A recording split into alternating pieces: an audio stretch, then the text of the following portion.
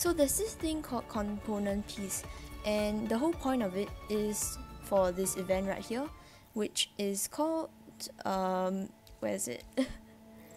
it's called the Rising Star Component event. Basically, it's a web page, um, and it collects was it everyone and all servers, uh, the total progress, and basically how many of those component pieces you have collected. And this is so far the result of the first day, which is 1 million. and uh, here is the free stuff.